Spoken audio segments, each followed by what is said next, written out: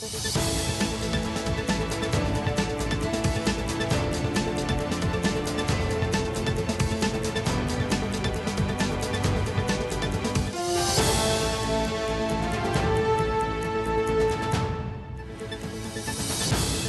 Това са новините в 9. България избира, гласуваме за нов парламент и всеки глас е важен. От нас самите зависи бъдещето на държавата. Парламентарните избори този път са необичайни заради световната пандемия, а другата особеност е възможността да гласуваме машинно. Изборният ден започна в 7 сутринта нормално, с спазване на мерките, както от членовете на комисиите, така и от първите гласуващи. Право на глас имат 6 милиона 635 хиляди 650 54 души по данни на ГРАО. Знаете, това число се прецизира до последно, дори в деня на изборите. Общо 30 партии и коалиции ще се състезават за представителство в 45-то Народно събрание. Дистанция, дезинфекция и дисциплина – това са трите правила, които трябва да спазваме и в секциите. Сега ще включим 28 секция в район Искър. Там е Юлия Наева. От 7 сутринта тя следи как се гласува и при какви условия. Два часа от първия пуснат глас. Юлия, каква е обстановката при теб?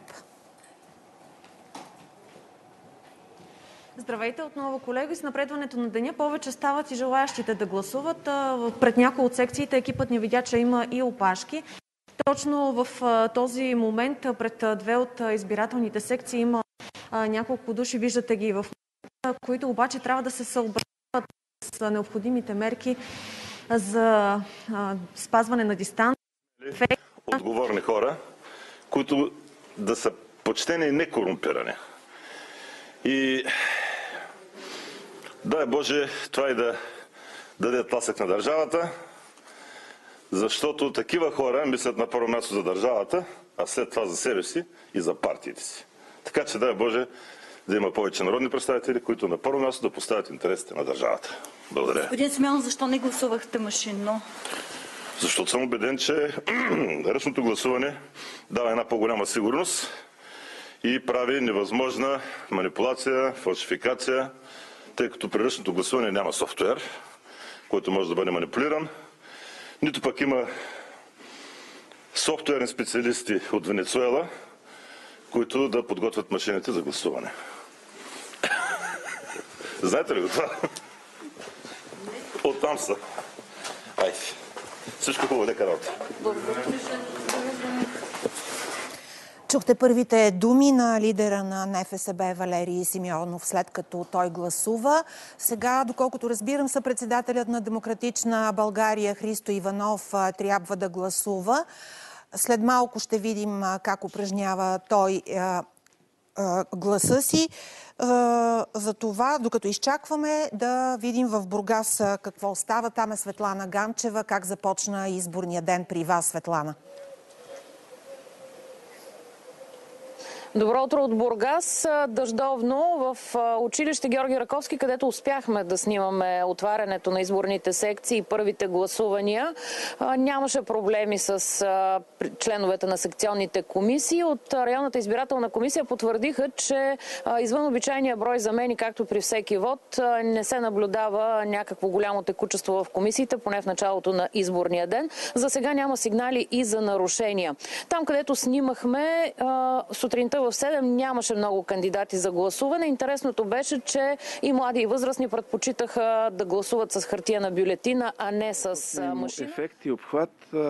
Призовавам всички граждани да излязат да гласуват, независимо от така хаоса, който беше допуснат от СИК.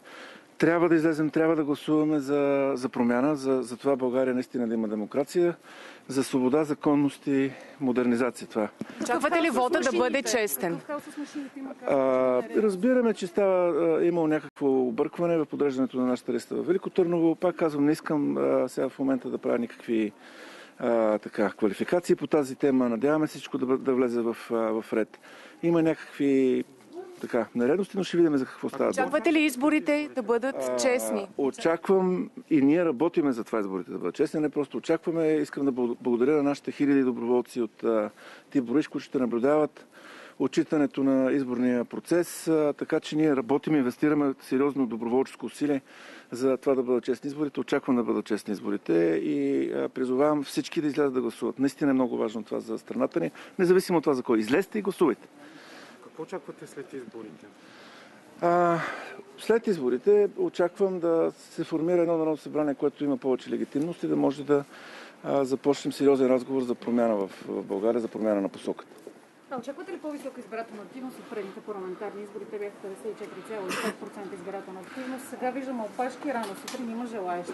Надявам се. Високата избирателна активност е гаранция за това, че парламента ще се ползва с легитимност, иначе ще може да взима решение за бъдещето и затова призоваваме всички да излязат да гласуват. Мислили ли сте за коалиции? Мислили сме за много неща, но днеска не е деня да, да коментираме тези неща. Нека да видим резултатите и ще, ще можем да влезем в този коментар. За Велико Търново проблем с машините имате ли от друга А, до момента аз не съм, а, не ми е докладвано. Ще видим. А някакви жалби до сега сте получили други извън машините, проблемите с машините? А, аз поне нямам информация. Гласувахте много бързо, безопасно ли беше? Сега да това видим и как гласува председателят на ДПС Мустафа Карадая. Сифила, не мога да разбера, ако искате да А, стигнем до господин Карадия, добър ден. За какво гласувахте днес? Добър ден. Гласувах за рестарт на държавността, за възстановяване на нормалността в политиката, за възстановяване на демокрацията в България. Гласувах за ускорено економическо развитие на България. А защо Благодаря избрахте ви. да гласувате с хартиена бюлетина, а не с машина, каквато възможност имат вече в почти всички секции в България?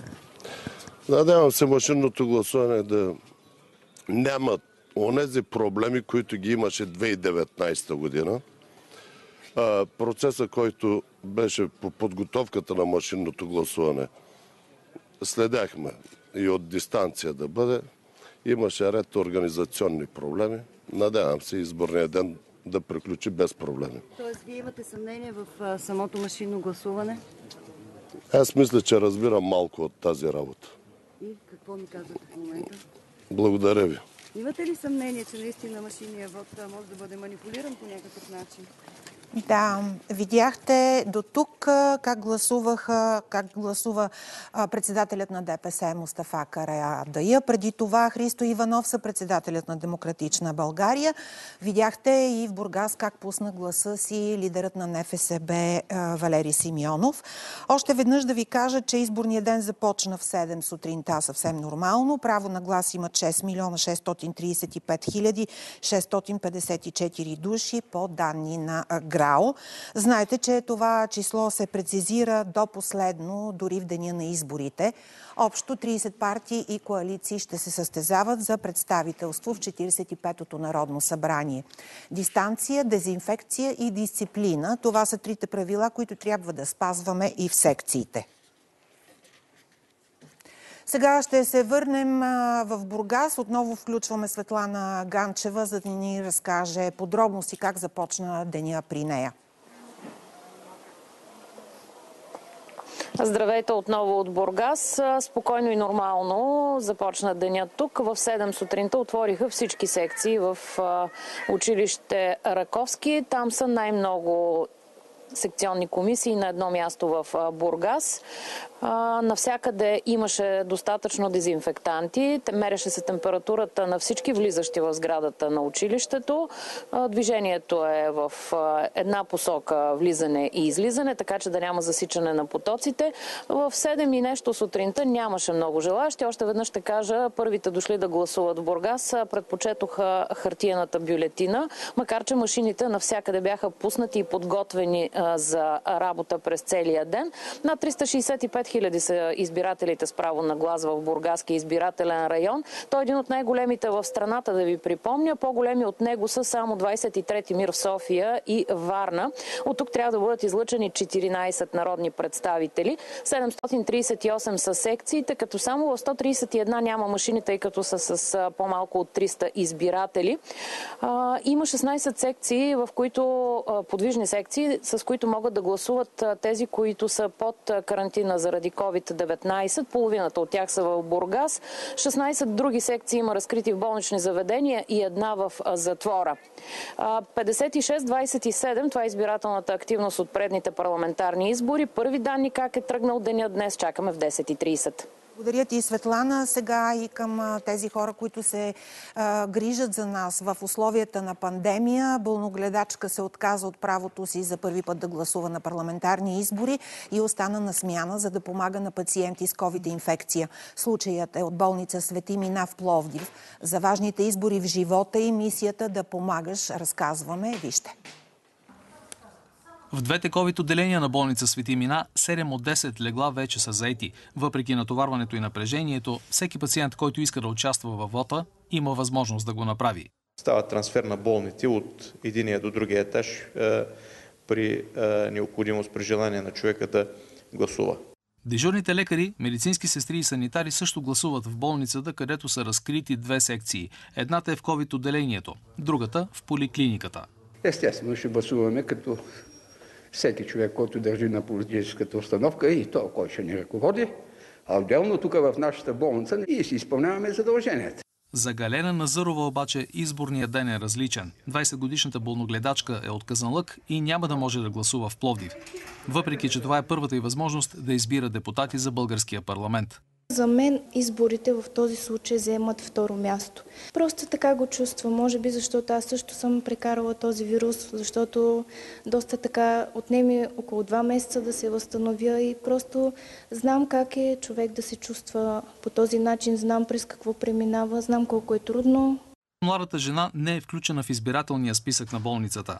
Адресата и регистрация не е пловдивска и не го е предвидела 3 месеца по-рано няма как да гласува в момента, но това не е личен избор. Изборът на Галена е вместо бюлетина да носи кораж и отеха на болните.